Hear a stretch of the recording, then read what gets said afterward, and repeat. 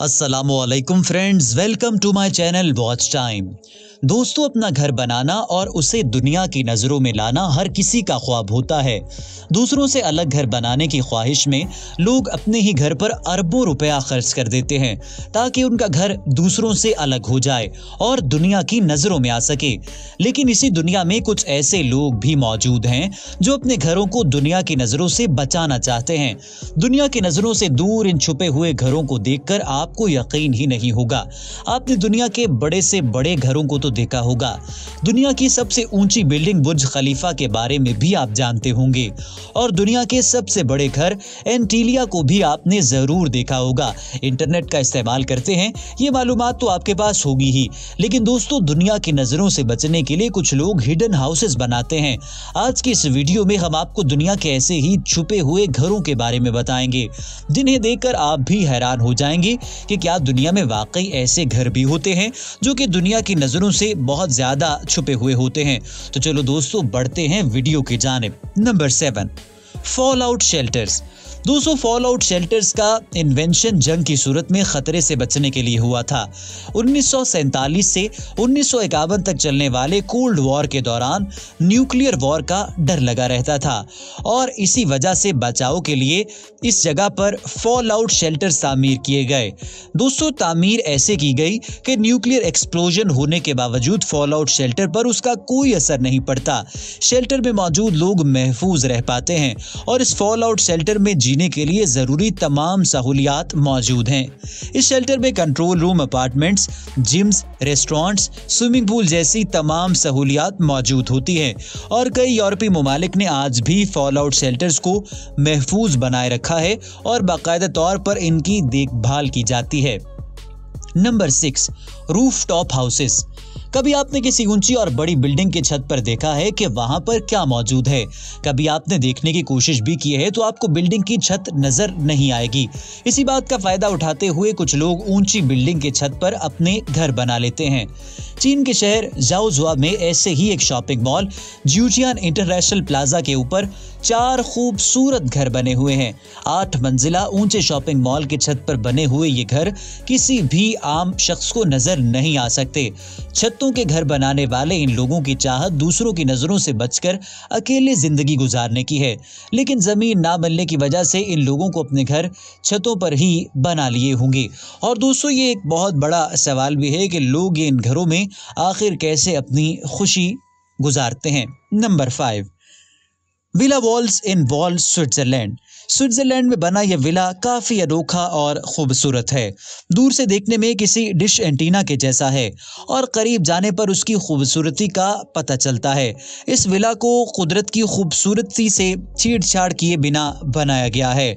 और दोस्तों, इस विला की डिज़ाइनिंग बेजान मास्टर बुइक और क्रिश्चियन मुलर ने की है।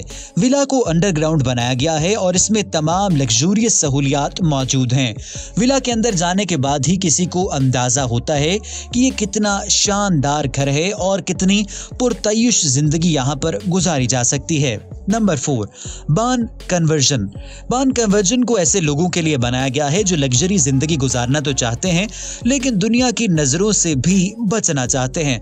बान कन्वर्जन को उन्होंने बाहर से बिल्कुल ही आम तरीके से बनाया है और अंदर तमाम लग्जोरियस चीज़ें मौजूद हैं। इसे बाहर से टीन के शेड और लकड़ी से बनाया गया है। बान कन्वर्जन जिसके अंदर luxury bedrooms interior designing bowling alley और इंडोर स्विमिंग पूल भी मौजूद है। इस बान कन्वर्जन को 600 स्क्वायर फीट में दो मंजिला पर बनाया गया है।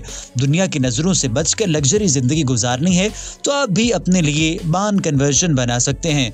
और इसमें रहने का मज़ा किस कदर ज़्यादा है, इस बात का अंदाज़ा भी आप तभी लगवा सकते हैं जब आप इस खूबसूरत जगह पर रहेंगे। Number three mansion in canyon wall इस घर को पहाड़ के अंदर बनाया गया है। इस घर को एक कपल ने 1986 में बनाया था और उनकी चाह थी कि वो दुनिया के लोगों की नज़रों से दूर पुरसकून इलाके में अपनी ज़िंदगी गुजार सकें और एक दूसरे को मोहब्बत कर सकें। अपनी इसी ख्वाहिश को पूरा करने के लिए उन्होंने अमेरिका की उटा स्टेट में पहाड़ की गोद में अपने घर को बनाया। दूर से देखने पर यह घर नहीं, पहाड़ का ही एक हिस्सा लगता है और इस घर में इस्तेमाल सहूलियात, इस्तेमाल की तमाम तमाम सहूलियात मौजूद हैं। Solar panel, fresh water retention system यहाँ पर मौजूद है।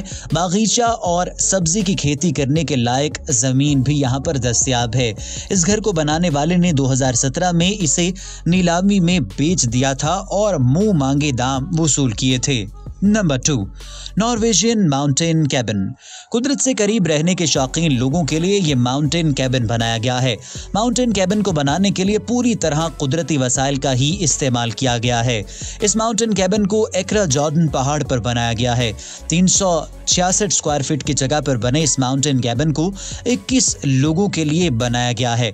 कैबिन को बनाने के लिए लकड़ी, घास और पत्थरों का इस्तेमाल किया गया है और माउंटेन कैबिन की छत पर लकड़ी का इस्तेमाल हुआ है। और लकड़ी के ऊपर घास उगाई गई है और इसे इस डिज़ाइन पर बनाया गया है कि नीचे से देखने पर यह लगभग ज़मीन के साथ ही दिखाई देता है। और इस कैबिन की डिज़ाइनिंग और इसका आर्किटेक्चर स्नोहिटा ने किया है। कैबिन तक जाने के लिए पैदल ही जाना पड़ता है या सिर्फ़ घोड़े के सहारे ही जाया जा सकता है। भीड़ भाड़ से दूर जाना हो और कुदरत के करीब रहना हो तो ये आपके लिए एक परफेक्ट और अमेजिंग जगह है। Number one crazy cliff houses दोस्तों, शायद आपने इंटरनेट का इस्तेमाल करते हुए ये नाम सुना होगा, लेकिन ये क्रेजी क्लिफ हाउसेस क्या हैं, ये हम आपको बताने और दिखाने वाले हैं। अगर आपको दुनिया की भीड़ से दूर रहना पसंद है और साथ में एडवेंचर भी पसंद है तो फिर क्रेजी क्लिफ हाउसेज आपके लिए ही बनाए गए हैं। क्लिफ हाउसेज को सीधी खड़ी चट्टानों के ऊपरी हिस्से में बनाया जाता है। क्लिफ हाउसेज में सारी लग्जरी सहूलियात मौजूद होती हैं। क्लिफ हाउसेस की डिज़ाइनिंग काफ़ी खूबसूरत अंदाज में की जाती है। ज़्यादातर क्लिफ हाउसेस पाँच छह मंजिला होते हैं और इनमें एक अपार्टमेंट में मिलने वाली तमाम लग्जरी सहूलियात मौजूद होती हैं। क्लिफ हाउसेस को ज़्यादातर समुंदर के पास मिलने वाली चट्टानों पर ही बनाया जाता है, ताकि इन घरों से समुंदर का नज़ारा देखा जा सके।